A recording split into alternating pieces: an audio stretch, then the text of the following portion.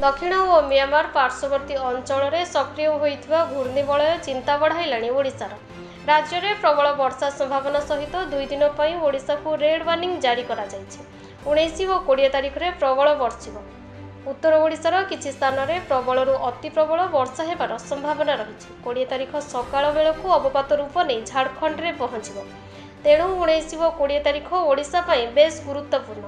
ଉତ୍ତର ଓଡ଼ିଶାରେ କୋଡ଼ିଏ ସେମି ଯାଏ ପ୍ରବଳ ବର୍ଷା ସମ୍ଭାବନା ରହିଛି। ପଇଁଚାଳିଶରୁ ପଚାଶ କିମି ବେଗରେ ପବନ ବହିବା ସମ୍ଭାବନା ରହିଛି। କେବଳ ସେତିକି ନୁହେଁ ଭୂସ୍ଖଳନ ହେବା ଆଶଙ୍କା ରହିଛି। ତଳିଆ ଅଞ୍ଚଳରେ ବନ୍ୟାର ପ୍ରଭାବ ପଡ଼ିବ। ଛୋଟ ଛୋଟ ସହରାଞ୍ଚଳରେ ବନ୍ୟା ସ୍ଥିତି ଉପୁଜିପାରେ। ଏନେଇ ଆଇଏମ୍ଡି ଡିଜି ମୃତ୍ୟୁଞ୍ଜୟ ମହାପାତ୍ର ସୂଚନା ଦେଇଛନ୍ତି। Bureau report Dumani TV.